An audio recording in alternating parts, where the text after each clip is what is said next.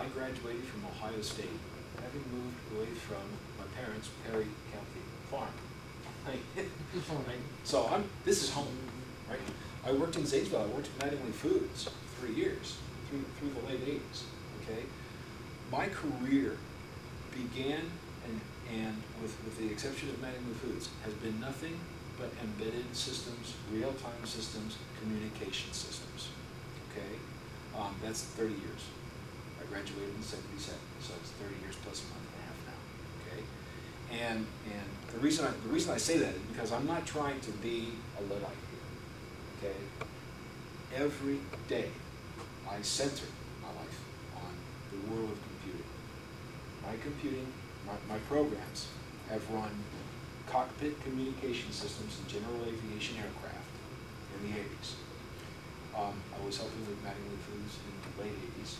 I then joined Bell Labs, where my code is now running in the long distance switching network on some of the higher performance systems there. Okay, I went from there to work in internet protocol security. After internet protocol security, I went back to the really small stuff and started building embedded systems, no larger than a couple of inches across, for providing communications between people's uh, computing and server infrastructure and remote devices. And between all that, all kinds of other things. Thirty years is a long time. So I don't come here as a person who's afraid of computing. I come rather as a person who understands where computing is useful and why. And part of what I want to describe here is why we're talking about this stuff in the, in the voting process. Okay? When we talk about an election, we want to, we, we're looking at it as just a standard production process. You're producing something. In this case, it's information. You know, this many people voted for this candidate in this issue. This many people voted for that candidate on that issue, etc. Okay? It is a production process. Industry, manufacturing, and business has a lot of experience in knowing how to deal with these things. We use computers all the time for it. Okay? And the question has to be asked, why is it that all of the computer scientists in the universities that study this issue, almost all of the practicing computer software developers that study this issue have the same answer. Direct recording electronic voting systems are a big mistake and a giant misapplication of a completely viable technology. Okay? I'm going to explain a little bit why that is, because that's, that's what we want to do is connect this up. Okay? Now, we all know that we vote in private, but the vote should be counted in public, right? Any one of us should be able to stick a video camera directly over all the counters and watch the process take place. Okay? Here, I have how a direct electronic recording system works. You can't see the bits in here. Okay? So Leonard the voter comes up and says, I want to vote oh for Ron Paul. Okay? I'm going to show you on my little, on, I have, I brought my uh, little Palm Pilot here, which I'm going to claim is, is uh, very equivalent to a voting machine. It's a touch screen computer, okay? Actually, it's more technology advanced than a voting machine. Well, actually, it shouldn't be. It shouldn't be. This is, this is a four hundred dollar version of exactly what a voting machine would be if it were done right. So you're right, I mean, I agree with you completely. We're paying three grand for these machines. I know that I can go to, to, to uh, Office Max and pick one up for four hundred bucks or less. Okay? So there are some questions here about cost and effectiveness. But what I want to talk about is how, how it is that we can audit our stuff. Okay?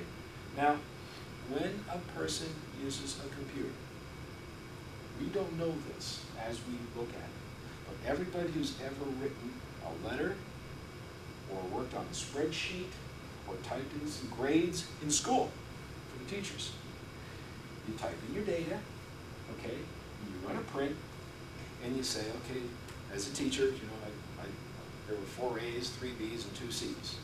Oops, there's the F.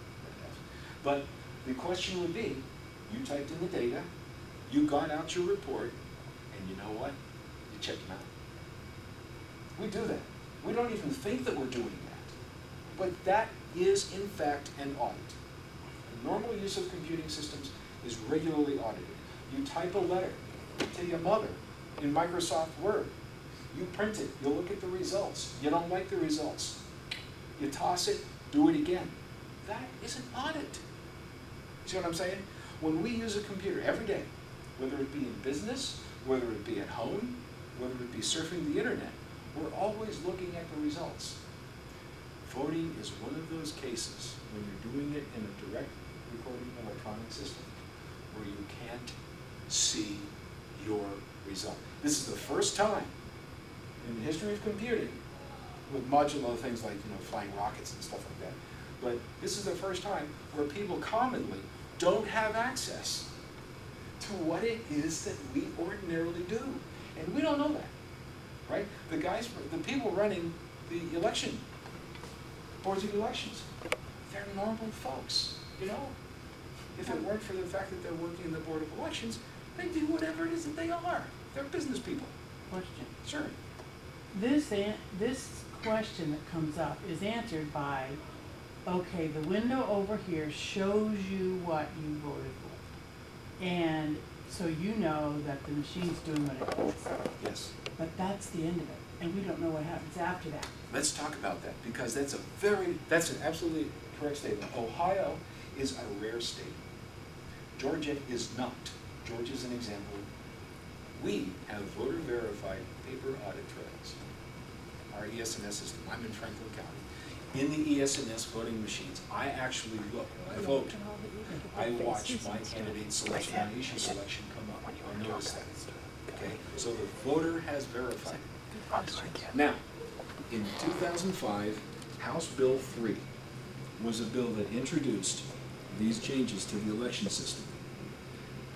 One of the aspects of it was that the Ohio Senate took out the audit restriction. Not only did they take it out, they've made, they've set it up so that there is no legal requirement for an audit of those voter verified paper audit trails. What we see when we run our elections is nothing other than the electronic count that was delivered by the DRE machine. Okay, legally, legally, in HB, in House Bill three, it is the case that, that the paper is the legal record of the vote. If you study the law, you know, we've all done this, that's, that really is the legal record, right? But what gets reported, what gets counted, and what gets produced as a result after the canvass, you know, the official counting process a couple of weeks later, is from the electronic count. It's not from that paper audit trail. And That rarely paper do they audit trail change is who the essentially winning useless. candidate is.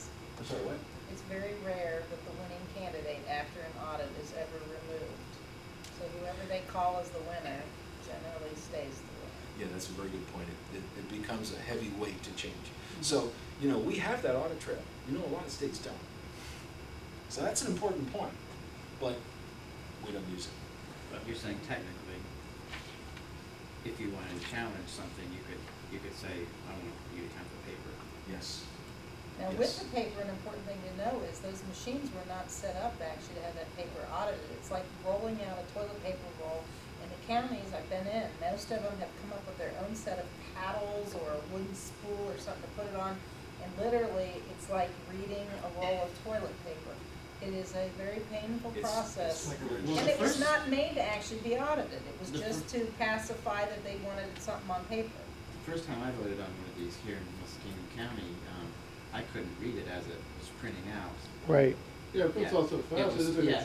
And- I don't even see what it says. And there's like, a- the way the window was done, it was like, it was like kind of like one of those Cracker Jack magnifying glasses. Yeah, yeah, it's like. And it was, yeah, it was like, well, good So- luck trying to read that. So what we have, so what we have. Take a to get- camera with you I will, photograph I You know, what we, to, to get. Well, that, are you allowed to take a video camera in while you're doing it? Yes. You can record your own, but not anyone else's. Um, Yeah, you know, these things work too. yeah. right? But to answer your questions, yes, there is in fact a paper trail. And yes, as Patty says, it's practically impossible to